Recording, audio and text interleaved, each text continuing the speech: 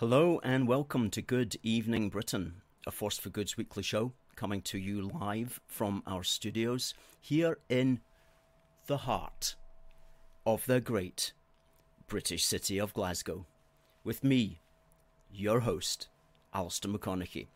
We are broadcasting on all our digital platforms throughout the United Kingdom and across the world. We're bringing you quality pro UK comment and analysis every Wednesday from 7 until 8 pm on Facebook, on YouTube, on X, formerly known as Twitter, and also on TikTok. Folks, please do send in your messages. Please send in your greetings. Please tell us where you are viewing from. And if you've got any questions, please also send them in. Tonight, we're going to be looking very much at the topic of the hour, which is Humza's Hate Speech Crime Act, which is coming into play on the 1st of April. And tonight, especially, we're going to be looking at the difference between a hate speech crime and a so called hate speech incident. What is the significant difference? And we're going to show how you can still get onto the police's bad books without having committed a crime. And we're going to be asking whether or not that is a just and democratic thing that should be happening in Scotland. So a lot to talk about. We've also got a fantastic guest coming up at 7:30 all the way from the US of A.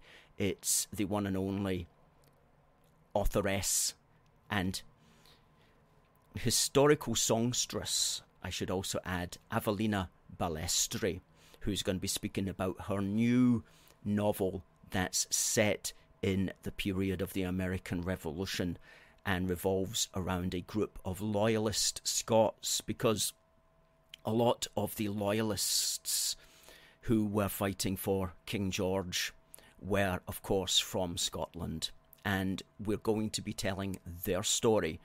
And Avellina has been at the forefront of remembering these men and women and bringing them back to our consciousness. And we're so grateful that she does that. Absolutely. So we're going to be talking with Avellina on that particular matter at 7:30. Now folks, please do stay tuned please do send in your messages if you're watching on TikTok. This is a Force for Goods weekly show where we are British, we love the United Kingdom, and we want to stay together. And if that's you, please do keep watching. And if that's not you, please do keep watching anyway because you will learn a lot of stuff on our fantastic show. You won't see the interview on TikTok, you'll have to go to our YouTube channel to see that. But otherwise, please do keep watching. Good stuff. Good stuff. Now, let's see what you guys have got to say. Derek, first in tonight, says, Good evening, everybody. There seems not to be a day on social media without the SNP and their loony hate crime bill. Are their lies finally coming up? Soon, hopefully, they will be out of power. Gypsy Geek Freak 17 says, Hello, fellow patriots as does Scotland Scorpion says good evening, everyone. And British Legend says good evening, as does Derek from Armadale. And Cat also says hello, one and all. And good to say, good to see We Say It podcast. Good evening. Um, we were on a roll on Monday because on Monday night, the We Say It podcast invited us on for an hour and a half. And that's, you'll find We Say It on Twitter at twitter.com forward slash We Say It podcast. And you'll also find them on rumble.com. Search for We Say It podcast. And very grateful to the team over there at We Say It podcast for inviting us on to speak about Humza's hate speech law. It was a good evening and I really enjoyed it, so thanks thanks for that guys. Hello to Nick Mick from Northumberland. And Scotland Scorpions looking forward to the guest who's going to be talking about the Loyalist Scots who fought for King George during the American War of Separation, as we like to call it, which wasn't one of the better ideas, I have to say, as far as the Americans are concerned, because um, they they they left the British Crown to do their own thing, sadly, and time will tell whether that worked out for them or not. Christopher says, Good evening from the Scottish and British town of Falkirk, as does Tony.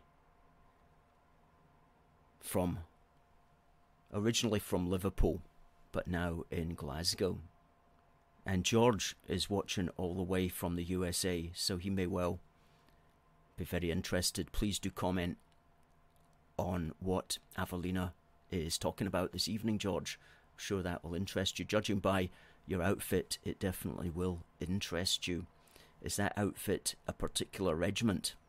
Please do tell us if it is. We say it says it was a pleasure to have us on. Ah, yes, George says, looking forward to listening to my friend Avellina. Now, what we're going to talk about now is Humza's hate crime, hate speech crime act and we're going to look at the difference between what are called hate crimes and hate incidents. Now, let me just very briefly explain what that is. For your words, under this new law which is coming out on the 1st of April, for your words to be a crime, they have to meet certain criteria. Depending upon who they are directed to, your words have to be either threatening and or abusive and or insulting.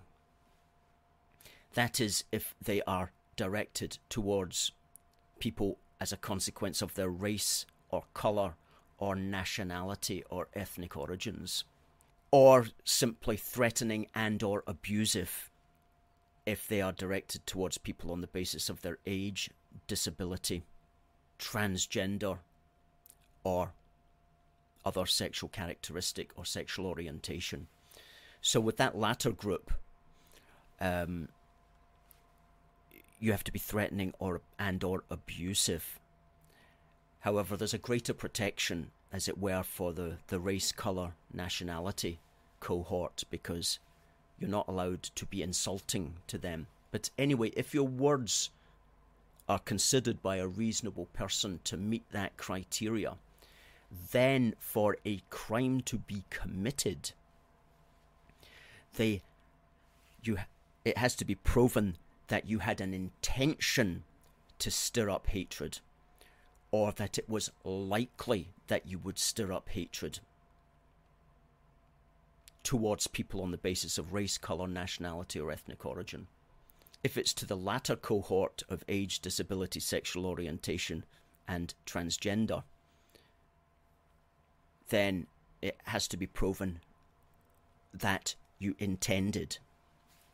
The likely option there is not included. So the greatest protection is for people on the basis of race or colour or nationality or ethnic origin but they need these these two things. The words have to be of that order, and there has to be an intention there to stir up hatred, or in the case of race, stir up intention, or likely to stir up hatred.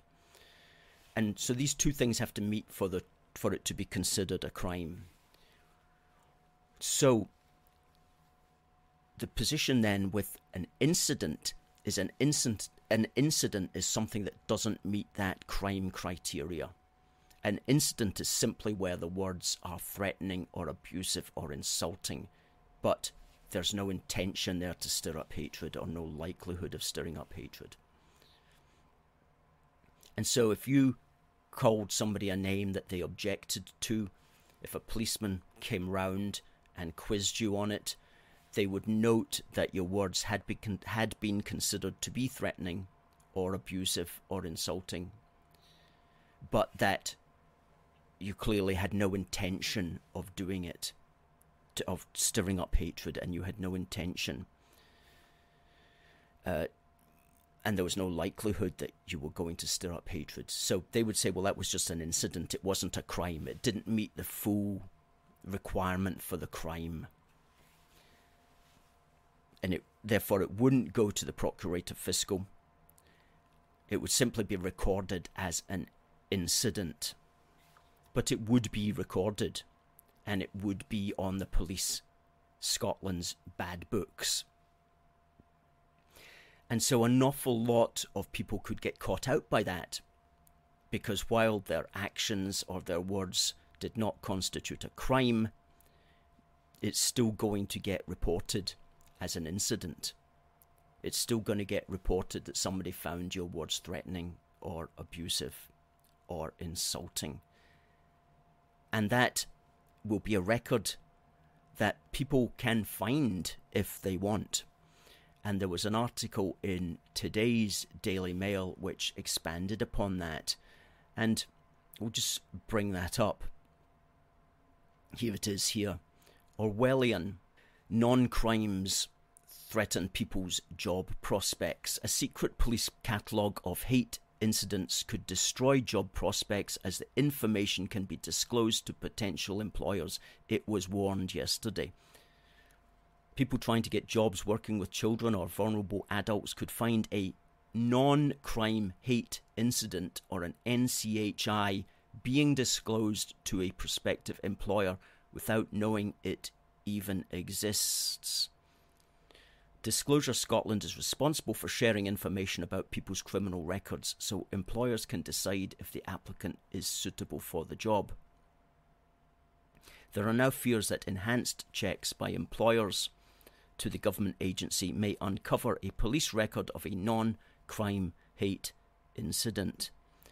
Now, many of these non crime hate incidences will be incredibly unfair because somebody could just have reported you because they didn't like the cut of your jib, they didn't like what you said to them in a pub, they found they felt that they lost the argument or something like that, and so they're just going to cause trouble. They're just going to be vexatious, as it were, or it could just be frivolous as well. So there's going to be a lot of frivolous complaints and a lot of vexatious complaints that don't meet the standard of a crime. That is to say, that it cannot be shown or even imagined that you intended to stir up hatred or that it was likely to stir up hatred, but you can still get caught and recorded without it going to court. It can still be caught and written down as an incident, and that doesn't look very good against your name. And this happened to a prominent Scottish member of the of Holyrood called Murdo Fraser, and it occurred a few months ago to him, and he has been recorded by Police Scotland. His name has been recorded under a hate incident, and he had tweeted out a wasn't really even a criticism, but it was something about um, non binary people, as some people like to call themselves. And it got recorded by the police as a non crime hate incident. And he didn't even know about it until he discovered it. And he did a, a video that went out on Monday. And it's just a short video of a couple of minutes. And we'll just play it just now to explain, let him explain to you his position on this. I've written today to Police Scotland to challenge their policy around the recording of non-crime hate incidents. Back in November, a social media post of mine criticising Scottish Government policy on gender was reported to Police Scotland by a trans rights activist as a hate crime. Police Scotland recorded this as a hate incident without informing me. Having now taken legal advice with the support of the Free Speech Union, I believe that action on the part of Police Scotland was unlawful in three respects. Firstly, the European Convention on Human Rights protects free speech and specifically protects expressions of political view. Secondly, there is a specific and additional protection under the Equality Act that has been established in case law for gender critical opinions, which this was. And thirdly, in recording this as a hate incident, Police Scotland breached the Data Protection Act. These are serious and timely matters. Scotland's new hate crime law comes into force in a few days' time on the 1st of April, on April Fool's Day, appropriately enough. And what we're likely to see is the police being deluged with hundreds, if not thousands, of spurious and vexatious complaints.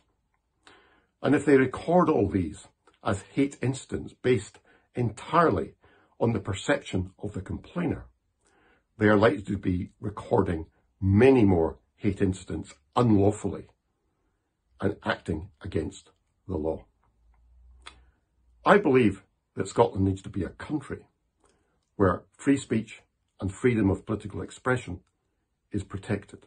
Absolutely, 100%. That's very well said by Murdo Fraser, who is a Conservative MSP at Holyrood and who's found himself at the wrong end of the long arm of the law for what was essentially an innocuous tweet, simply giving his opinion on the um, the question of gender.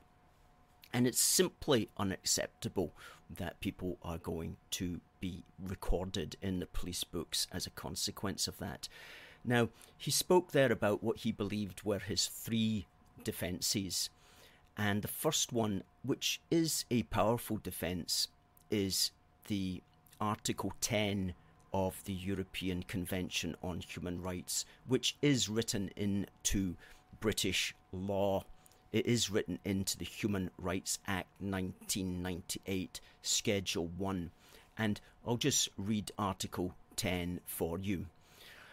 Everyone has the right to freedom of expression. This right shall include freedom to hold opinions, and to receive and impart information and ideas without interference by public authority and regardless of frontiers. Now that's that's a fairly wide ranging law and for the government to prevent you having that freedom of expression it really does need to have as it says here in part 2 it really does need to be necessary in a democratic society to penalise you. And there is no reason why, in a democratic society, that sort of relatively harmless free speech should not be allowed. So I do think that he has a strong case as far as that is concerned. The second thing that he referenced was the Equality Act. Now, the Equality Act is actually about discrimination in employment. So I'm wondering how he would bring that into the equation.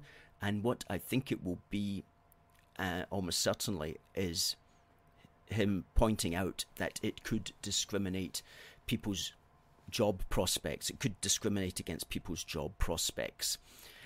Um, therefore, it would be discriminatory as far as your employment chances are concerned. So he might have a case under the Equality Act. And the third point that he made was that it probably contravenes the Data Protection Act, whereby the police are recording your personal details without telling you. So I think he's got a pretty strong case on at least two, if not all three, of those objections. The ECHR, Freedom of Speech, Article 10 defence, the Equality Act defence that it's discriminating against potential employment and it's also contravening the Data Protection Act.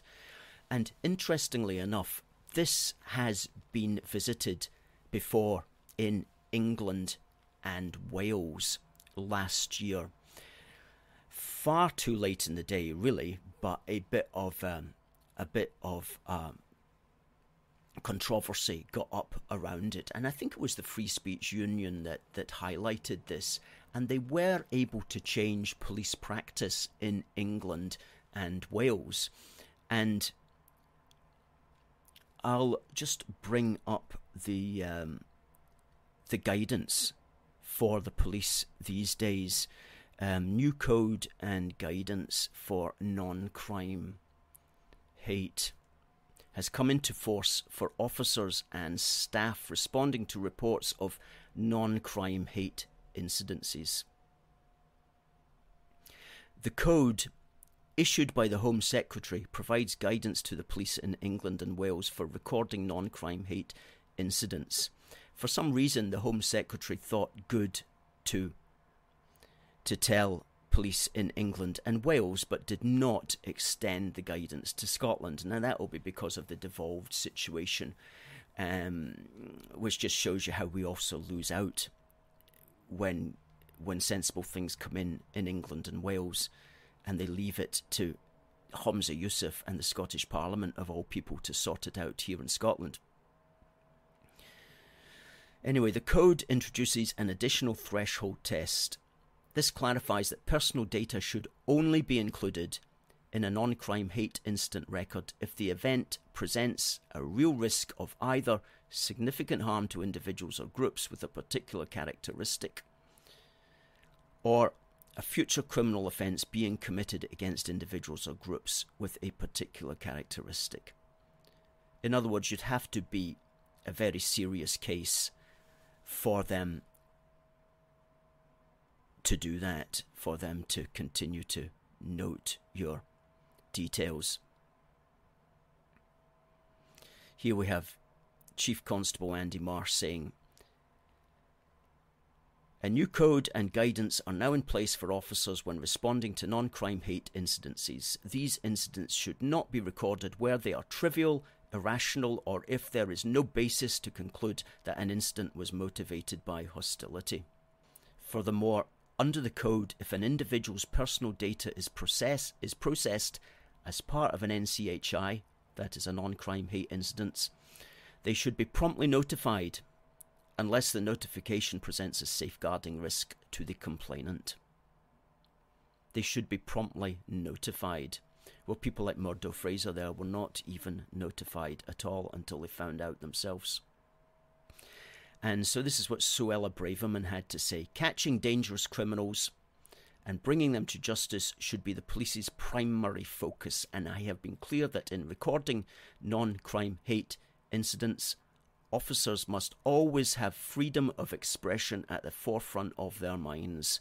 I am pleased that the College of Policing has published updated operational guidance to ensure the code of practice approved by Parliament is applied consistently.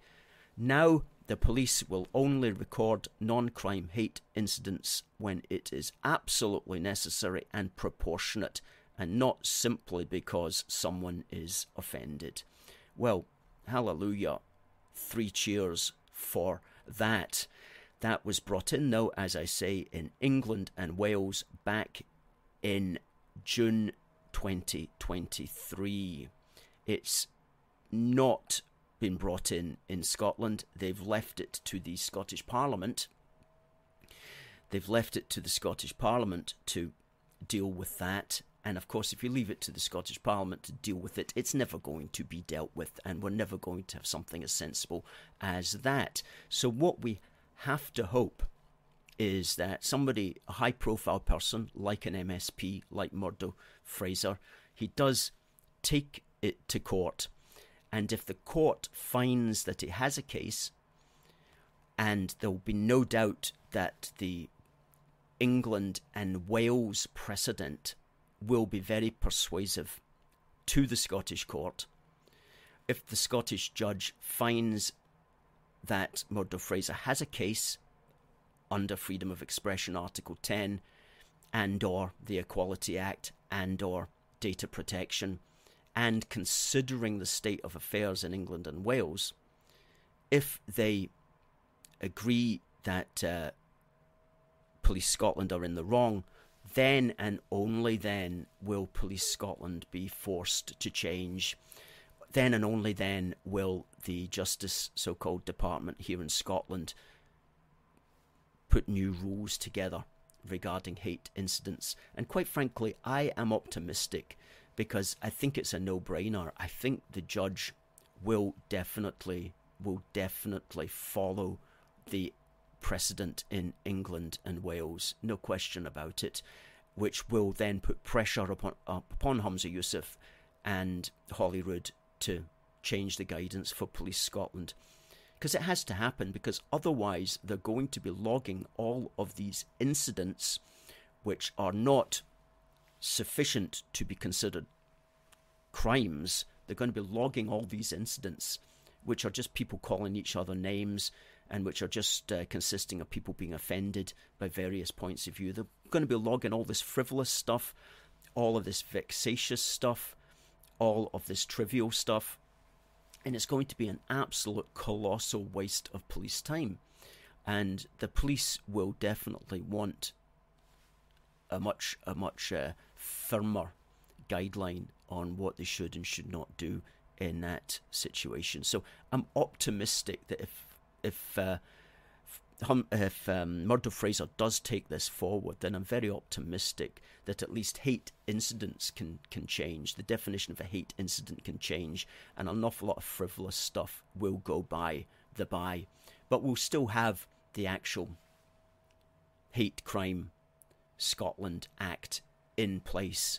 And the question is going forward, what's going to happen with that? To what extent is that going to remain on the books? And there's a couple of options. One is that a high profile person does get accused of a crime, such as a J.K. Rowling or um,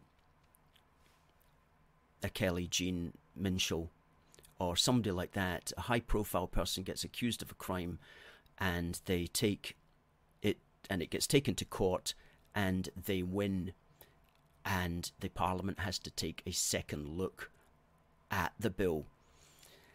And um, it may be that several cases will start going to court and people will be winning them. They won't be getting convicted. And it might be that we have something that's that resembles the the law that they brought in for the football, which was the uh, Offensive Behaviour at Football and Threatening Communications Scotland Act 2012, which they actually had to repeal. The Scottish Parliament had to repeal it because it was unworkable. So that's a possibility. We could be looking at the law being repealed. The other possibility, perhaps more likely, is that they'll keep it on the books, but they will amend it and they'll amend it with far stronger freedom of speech defences. Because while there are defences in the document, in the Act, which we looked at last week, they are not watertight. Especially, they're not watertight around the sexual orientation, transgender rights points of view. And indeed, I was reading this article by Joanna Cherry, women have every right to be concerned about Hate Crime Act. And this appeared in The National on the 22nd of March. And she said that they had put forward suggestions for watertight defences on this particular issue, upon the women's rights issues, and they had not been accepted. One of the defences that she had wanted was a defence that read, quote, Behaviour or material is not to be taken to be threatening or abusive solely on the basis that it involves or includes discussion or criticism of matters relating to transgender identity. Close quote.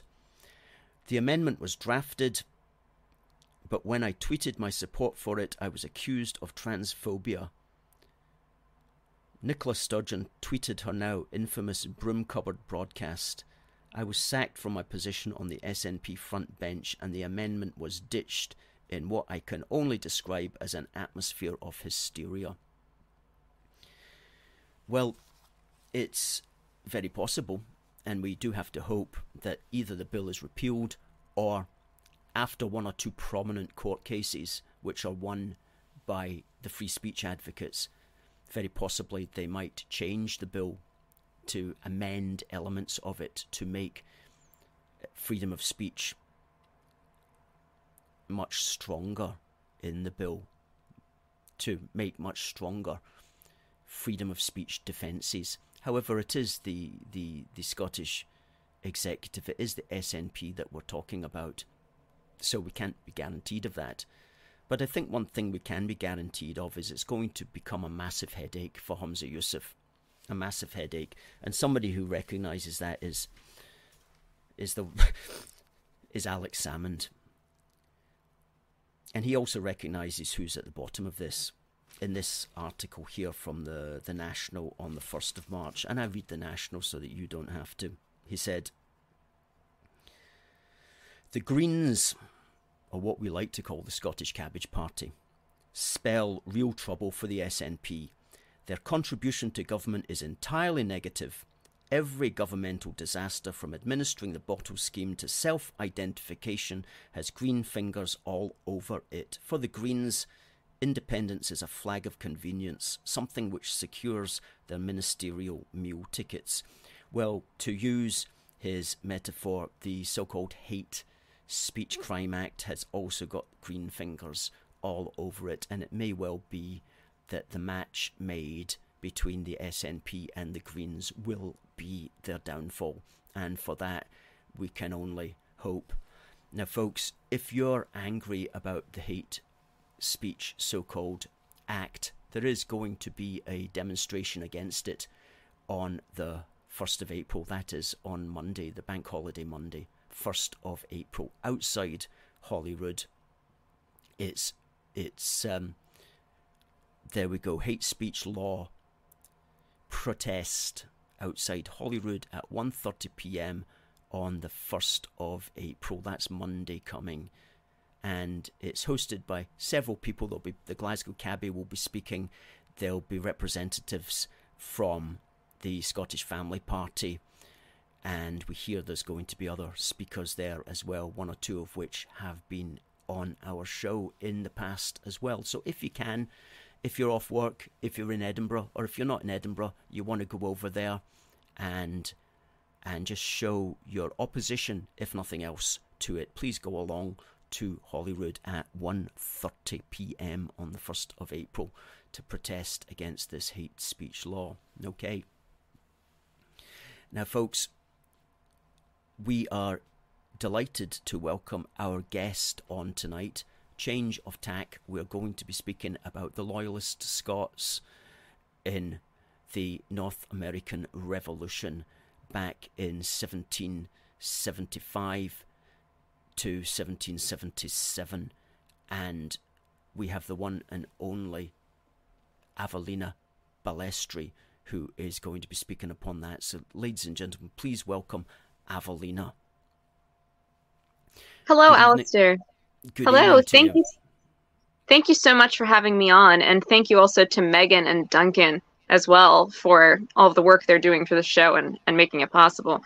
Oh, I also wanted to give a shout out to um, Ian Inkster, who very kindly drove us around the UK um, and was our uh, comrade in arms, if you will, um, during my trip to the UK in October. I really badly wanted to get up to Scotland. Unfortunately, wasn't able to um, due to having to run a conference in Cambridge and scheduling just got kind of crazy. But I did I did I did get a very good taste of Scotland with Ian. so I was very glad to have to be able to have him on board with me. Great. Well, do you know what? We're so glad that that you came over to Scotland and we're absolutely fascinated by your particular interest in Scotland because it's not like you have Scottish heritage. I, am presuming it's not anyway. Do you have any British I'm not 100% I, I do have English. I'm not 100. I do have Irish. I'm not 100% sure about Scottish or Welsh, but I do have some British Isles. So, so there, there's that. Would, I would have to actually do a test of some type, though. Some family sort of genealogical forays that my cousins have gone on claim that we're uh, related in some way to Woodrow Wilson, who was Scots Irish. So there is a possibility that I have a little bit of Scottish, but it's not. It's predominantly Italian with a, a blend of a lot of other things in there. Uh, uh, full full on American mutt. absolutely, absolutely. Well, I love American Italians. Absolutely, um, fantastic. We, we bring you we bring you we bring we bring you pizza and opera. Mm. So. yeah. and generally very sensible as well as Americans go. I find the the American Italians. I used to know. Well, thank you. uh, yeah, I used to know one myself many years ago. But let's talk about your book firstly. You've got a a, a, novel, a historical novel that's coming out, mm-hmm. and we'll talk about that later in the show. But it's based around the idea of the the loyalists, the British loyalists, fighting the American um, separatists, as I like to call them. Um, what got you interested in that field of study, firstly? Well, the American Revolution was something that has interested me all the way back to basically my childhood. Um, it just it fascinated me the general time period of the long 18th century, which a lot of historians kind of consider to be the period between like the Glorious Revolution in 1688 to the end of the Napoleonic Wars in 1815.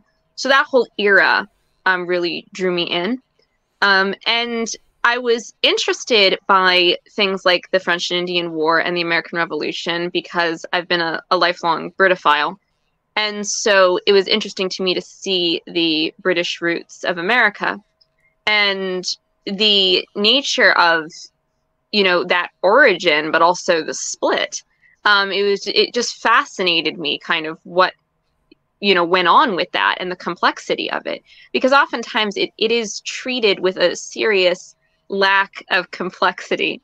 Um, you know there's just this tendency to to even view it for example as very much of like americans on one side british on the other. And there's a lack of understanding that americans were up to that point british. And um, and british people had all kinds of manifold connections with america um, you know they it was one people it was one empire um, and sure there was there was tensions there was prejudices. There was all kinds of things, but at the end of the day, this was a civil war um, with people of common kinship and under a common king um, who, you know, set to fighting one another. And it, it is quite tragic in that sense. It's like a family breakdown in some way. And I always felt that when dealing with the American Revolution, that there is a real sense of of tragedy that that comes with it, and um, which I think oftentimes gets forgotten. So it's it's one of the elements that I do bring out in the the novel, um, which is um, going to be released on May 28th. It's currently available for pre-order digitally um, on Amazon. It's called uh, the the entire trilogy that is planned is called All Ye That Pass By, and the first book is entitled Gone for a Soldier and it follows a a young man from a Catholic recusant family in Lancashire in the north of England who ends up on the staff of General John Burgoyne, the British general who is the commander of the Saratoga campaign in 1777. And the campaign essentially was a plan by the British um, government. It was mostly put together by Burgoyne himself to split the colonies. Um, and there, thereby, he was hoping to draw loyalist Americans to his side. These are Americans loyal to the crown, um, and get allied native tribes to come in on his side. And, you know, with the aid of Hessian um, mercenaries and allies and so forth, that he would be able to um, work with the other British generals, William Howe and Barry St. Leger, and they would be able to divide the colonies and therefore um, cut the rest of them off from New England and crush the rebellion.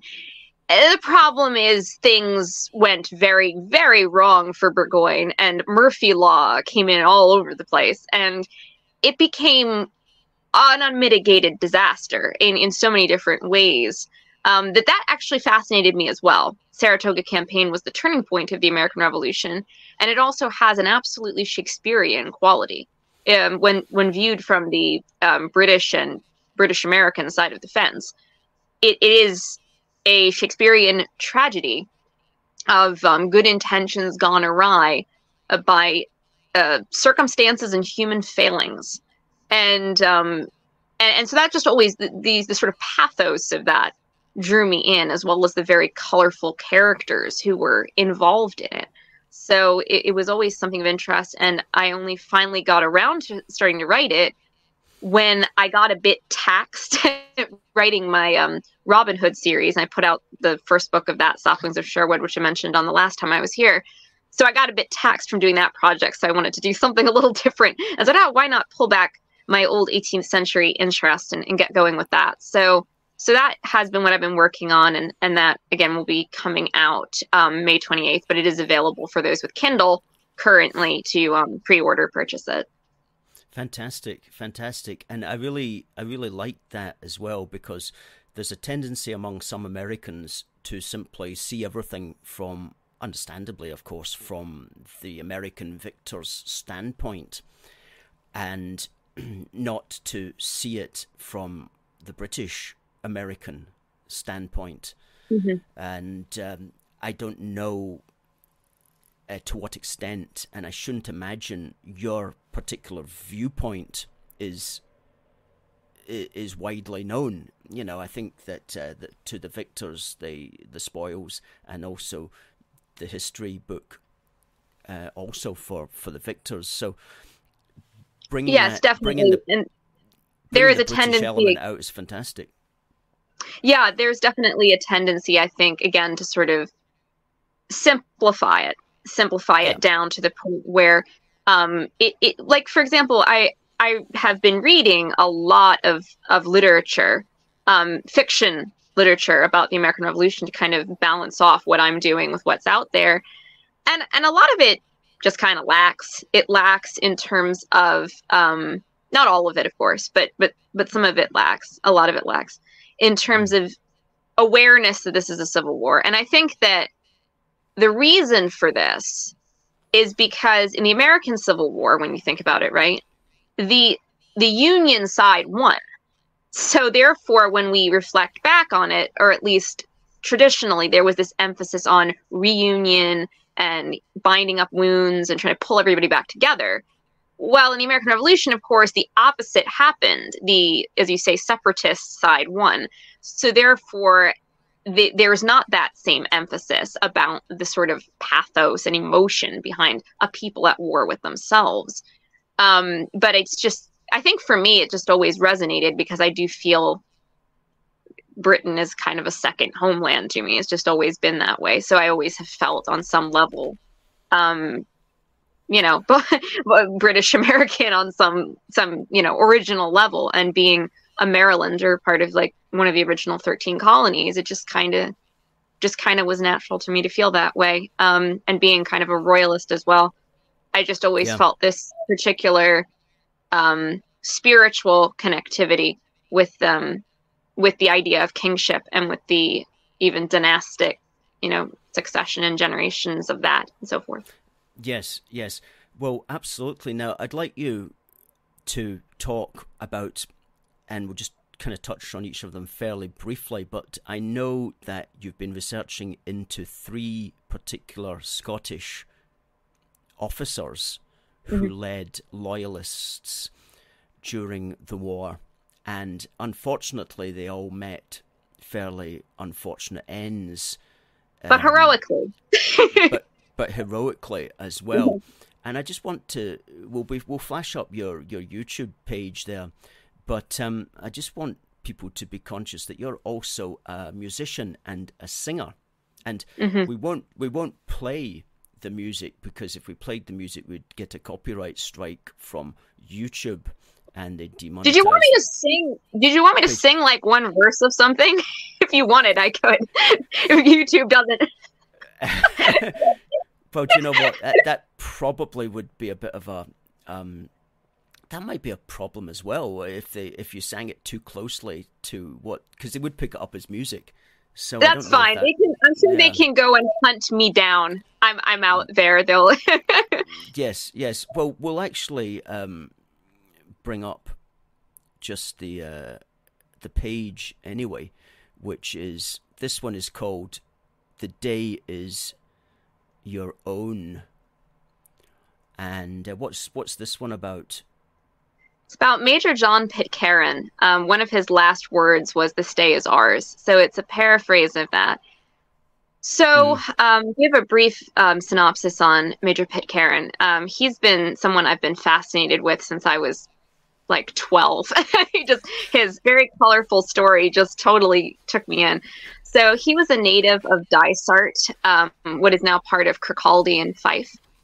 And um, when when I was, you know, around 14, I literally called up the historical society there. Ended up befriending um, a wonderful lady who worked there, Carol McNeil, and we did massive amounts of research on this. Um, but uh, Major Pitcairn, um, his father was a chaplain in the Cameronian Regiment, which was had a strong Covenanter history to it. And these are the people who are very very zealous we'll put it that way. Um, they had a, a, tradition actually of signing they would receive bibles when signing up to the regiment. Um, and some of them would sign their bibles in blood. They were very much attached again the covenanter tradition of the 17th century. And then um, they wound up being kind of incorporated brought into peace if you will with the kings. I can't go into the whole history of that. There's a whole sure. interesting history. So suffice to say, they had been in kind of re- rebellion against the kings for quite some time because they were, you know, hardcore Presbyterians, and um, you know they were kind of under the thumb of the Anglicans. And then what ends up happening is that they get kind of post Glorious Revolution incorporated in, um, and you get the Cameronian Regiment and so um, Major Pitcairn's dad was a chaplain in that regiment under Marlborough during the War of Spanish Succession, etc. So he has this very interesting background that way. Then he ends up becoming the uh, moderator at St. Serf's Church in Dysart. Um, and so uh, Major Pitcairn, John Pitcairn, is born and raised in the old manse building right next door to the church. And he grows up there with his um, family. And this is like on the steps of the sea. So, you know, uh, Pitcairn is drawn to the sea and he ends up being drawn into the Marines.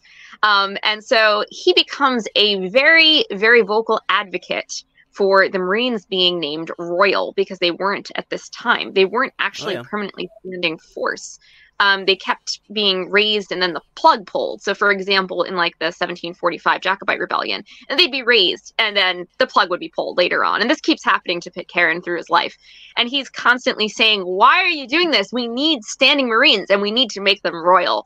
Um, and we need to be paid better. so, he's a very vocal advocate for all things Marines.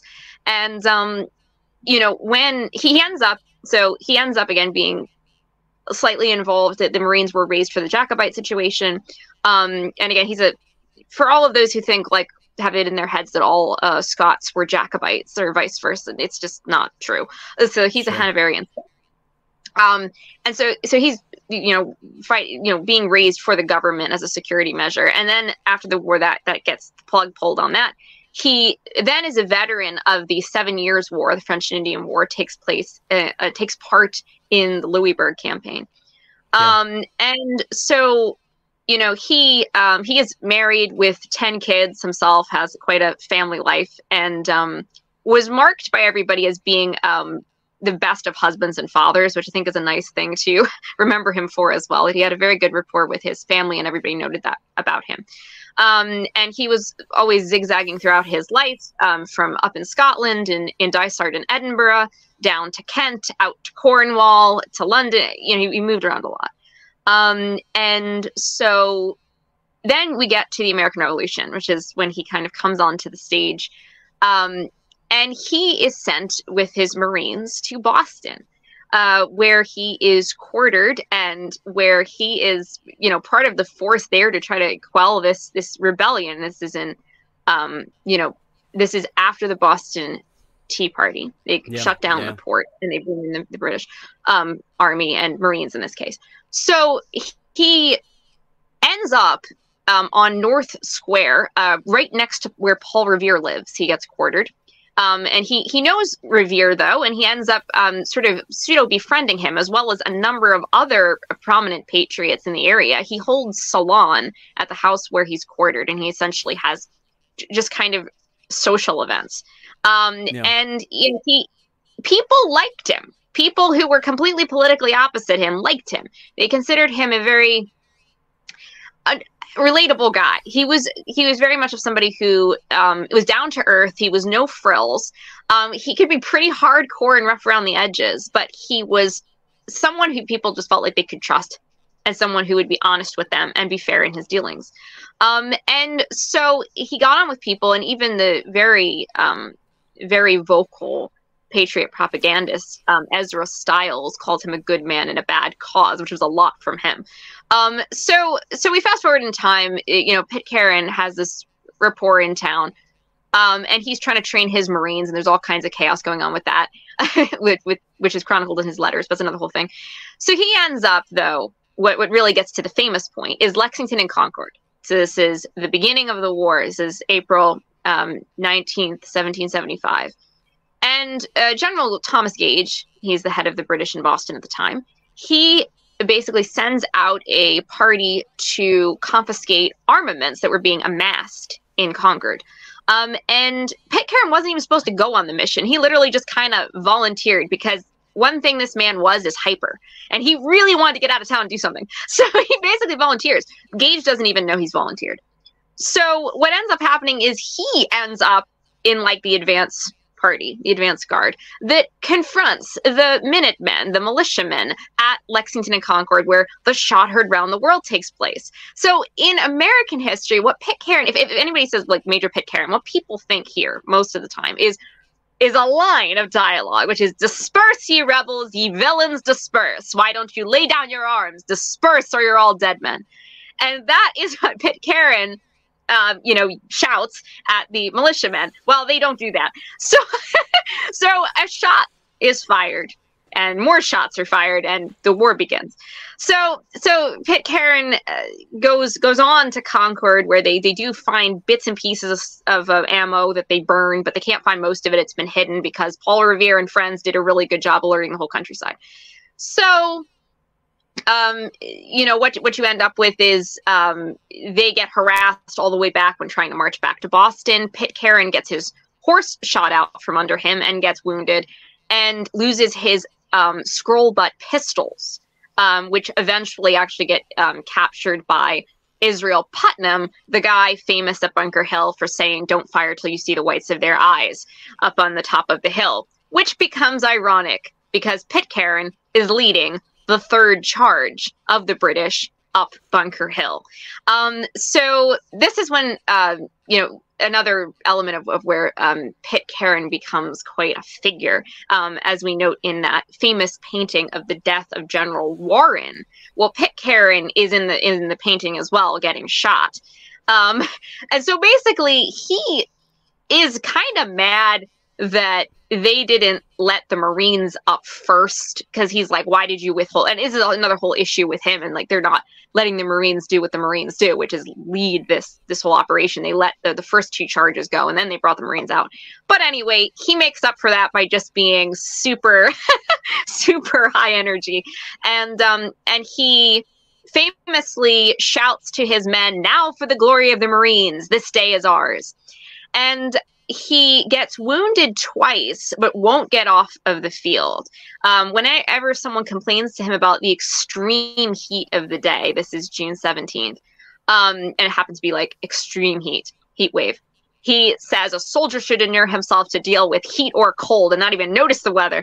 And um, and he he's just full throttle on this, and and and so then he ends up getting shot four times in the chest um, and collapses backwards into the arms of his son, William, who's also a Marine, who then um, drags his father off of the hill and down to the boats by the Charles River, kisses him, puts him in the boat, and then goes back to the battle because he knows that's what his father would want him to do. So uh, Pitcairn um, later on, a number of hours later, shocks the doctor by still being alive. They thought, no, he's you know probably toast, um, like instant toast, but he's not. He's he's conscious hours later and able to communicate with the doctor who's been sent over by General Gage, a loyalist American doctor, and um, and is able to converse with him, set his affairs in order, and so forth before the doctor finally um, pulls open his coat to try to see where where everything is at and causes a terrible hemorrhage and he basically bleeds to death from that um, and the floorboards got stained with his blood and wound up being kind of a tourist trap for ages after that and afterwards, his son William um, is seen wandering the streets of Boston covered in blood. It's this very kind of uh, chilling sequence, and some pedestrians essentially go over to him and see if he's okay. And um, he says, "It's it's not my blood. It's not my blood," and keeps repeating that, and then finally saying, "I've lost my father. I have lost my father." And some Marines who were standing near, nearby then say, "Oh my God, we have all lost a father." So it's a very um, moving sequence, and, and really um, a sign, really, of of Pitcairn's paternal quality towards both his actual kids and the Marines. He was the father of the Marines, um, and of course, in the end, the Marines do become royal. Um, so he he foresaw that, and it did happen, and um, so he he was a he was a British hero, and he was a Scottish hero, and and he went down gallantly. Well, thank you so much for recounting his his tale because he's not a man I had ever heard of, and it's amazing to know that he played such an important part in the American War at that time. yeah, time. I definitely wish uh, he was he was better known in in Britain certainly because I feel like well, there is a deficit. Mm-hmm. We've got to make him better known, so we've uh, recorded his information. We'll remember him on his death every year across our platforms, and Excellent. try to tell try to tell his story as much as we can. You're telling his story along with, and we don't have time to hear about the other two, but here's the picture that you referenced. Um, that's him not in the white to the left there. That's the American, right? That's General Warren. That's General Warren. Mm-hmm. Uh, but in the middle, he was also there, yeah, towards He's the right hand the side there. Falling into yeah, he's the one falling into the arms of of his son. Um, so right. the one the, the British officer right by um, Warren, who's he is um, also a Scot, by the way, Captain John Small, um, and he right. actually was friends with Warren um, from Boston. And this scene is showing him trying to knock the bayonet out of the way because he was trying to get Warren to surrender to save his life. And then his his um like aide, a soldier near him, just shot Warren in the head, but Small was still trying to save him in the last minutes and knock the, the bayonet out of the way. So that's another whole story right there. Right, right, right. Fascinating. Well, you've written 19 verses in your song. I was just counting them there, which your song, The Day is. The day is your own. Is your own. The day is your own. Yeah, I kind of leaned into I'm Go ahead. Just, I'm just going to read that. That day is your own. We each are judged alone. Your maker you must meet beyond the whims of history. May you receive your amnesty before the judgment seat. Well, there you go. Absolutely.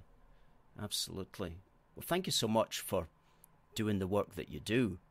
And oh, you're welcome. And hopefully, telling hopefully stories hopefully at some point we'll be we'll be able to get back on about General Fraser and um, Major Ferguson. Um, you know, upcoming because they, they would be very fascinating figures to cover as well. And Fraser plays a major, major role within the book I'm writing um, because he was one of the top brass at Saratoga, basically um, Burgoyne's one of Burgoyne's like right hand men uh, during that campaign. So he he's very very fascinating and a, a Highlander. Um, so so I'd love to talk about him at some point as well and Ferguson. Good, good. Well, we must we must uh, always remember that part of our history as well. And it's so good that you, as an American, are what's the phrase open-minded enough to to see both sides of the story there. And well, it's our side too. That's the thing. I, I think the important thing to remember too is it's it's for me it's not it's not even um like trying to get inside of a foreign, you know, entities perspective. For me, it's just like we all were one people. We all were one people. Um, and therefore it's very easy to to to go there, if you will. And I think what's important too in this particular show and in this particular case is to remember that these people were Scottish and British, and the two identities went together seamlessly um, in terms of how they ultimately um, fought and died under the Union flag. Um, and they, you know, really gave their all for for that for king and country. That does matter. And um, you know, I think that there there's something that gets forgotten about that. I would say that these figures are, are actually what made me care um, about the Union more because of of their sacrifice and because they, in many ways, made Britain what she was, even in defeat. And I think that's even in a way there's a certain heroism to that. That even in defeat, um, you know, one can still close close their lives well. Uh, Ferguson actually had a quote just to wrap up. Um, Major Patrick Ferguson had a quote, which I'm going to paraphrase. I don't have it, but essentially he said, at the end of the day, if we follow, in a sense, what what the Creator gives us um, in, in, terms of um, applying ourselves with honor to the situation at hand, then if we change from this life to the next in one year or 50 years, it won't be for the worse. Mm-hmm. Yeah. Yeah, I like that. Um, work with eternity in mind, sort of thing. Um, mm-hmm. Definitely. Definitely. Yeah, because it, yeah. it, it is something that, again, when I'm writing these characters, when I'm reading about these characters, for me, it's, it's always there, you know, because I'm I'm a Christian, I'm a Catholic. It, it matters to me the idea of the souls that have gone before us. So it's something that is very it's something that's very important to me when I'm doing the writing and when I'm doing the stories, especially dealing with people's deaths. It, it brings yes. this hallowed sense to mind. Yes, yes, I could see that when I was reading the the texts of mm-hmm. your your verses of your song. That that was very much part of what was motivating you here. Scotland kind of Scorpion. became. Scotland Scorpion says, "I'm listening to Avellina's beautiful singing on her YouTube channel." Oh, thank Absolutely. you. and your YouTube channel is youtube.com forward slash at, you have to put the at in on this particular case, at Avellina Balestri, which for those who are listening on the audio podcast is spelt A V E L L I N A B A L E S T R I. YouTube.com forward slash at Avellina Balestri. Avellina, it's been a real pleasure listening to you. Yes. Would, Same to you to as you well. On. Your book is is is um, coming out now. Let me uh, on May twenty eighth. May May twenty eighth, and you simply mm-hmm. search Amazon. And you can pre-order. For, you can pre-order, you can pre-order it digitally digitally. Unfortunately, Amazon is very finicky and it won't let me do physical copy pre order, but you can digitally do it. Um, and then it will be in hard copy and in a digital released on May 28th. So there that would be wonderful. Search, search Amazon for All Ye That Pass By. Is the I'd like to wish everyone a like to wish everyone a blessed Holy Week as well and a happy Easter. Absolutely. Happy Easter to mm-hmm. you as well this weekend, Avellina. Good stuff. Well, thank you very much. We'll You're very you welcome. On it. We'll have you back on again, and we'll look forward to chatting. Folks, Excellent. Let's say goodbye to Avellina. Good thank night. you. Thank you so much. God bless. Bye. Bye now. Fantastic. Avellina, a very, very talented American historian and writer and musician. And we're very very happy to know Avellina. George Bray says outstanding. And Ian says thanks there. And Kathleen says happy Easter. There we go. Avellina, thank you for an exceptionally interesting talk tonight. Avellina is a great friend of A Force for Good, and we hope to have you back soon as a guest. Happy Easter, Avellina, from the staff at AFFG, and that's written by one of the team there tonight. Thanks for that message. Good, good, good. Folks, talking about books on Amazon, we have our own book here. It's called One Big Country, a big book for the Union, Volume 1. And again, you can find that on Amazon by simply going to amazon.co.uk and searching for one big country. Search Amazon for one big country and you'll get that book. It's only nine ninety nine. It's exceptionally well written. It's exceptionally easy to understand. It's exceptionally well worth your time as well. If you've ever wondered what do these unionists believe in, well, you simply buy that and you could read this in two or three hours and it will give you all the gen that you need to know. It's 12 years of our work encapsulated in 180 pages. Really, really worth your while. And it gives you lots of good ideas of how to advocate for our wonderful United Kingdom. So please do go to Amazon and search for One Big Country. Only nine ninety nine, and that includes postage in the UK. Good stuff. Good stuff, folks. Derek says, Happy Easter, everyone. Have a great weekend. Christopher says, Highly recommended, comprehensive, and well structured. Let's get a screenshot of that classic phrase. Thank you. Thank you, Chris. Good stuff. Derek says, Great show. Lots of comments tonight. Sorry I wasn't able to bring them all up. Um, Alan says, excellent guest. Catherine says, very. Thank you, Evelina, very interesting, as does Chris. George Bray says, very good presentation, Evelina. Well, we've had a lot of good people watching tonight on X. It's been it's been really worthwhile tonight we're going to be back next week. We've got a, a guest who is going to a guest who is uh, many of you will know. Um, he'll be coming back on next Wednesday. Now, just to remind you, there is the protest outside Holyrood on this coming Monday at 1:30 p.m on Monday, the 1st of April. Folks, please do, if you can, get along to that. There you go, hate speech law.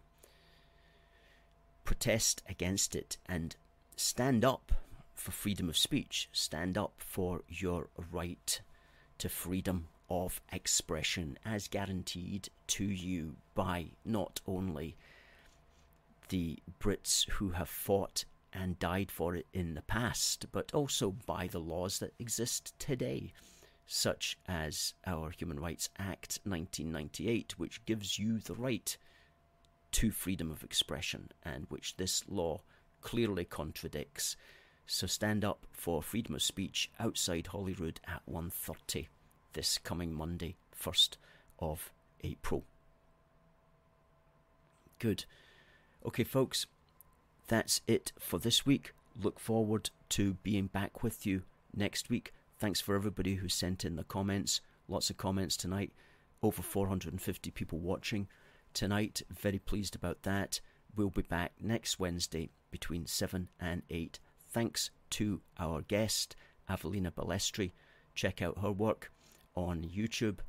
It just remains for me to say, God bless the United Kingdom and God save the King. See you next time.